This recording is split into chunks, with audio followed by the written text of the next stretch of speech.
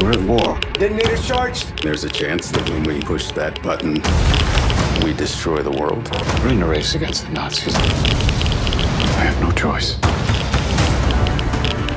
Is it big enough To end the war.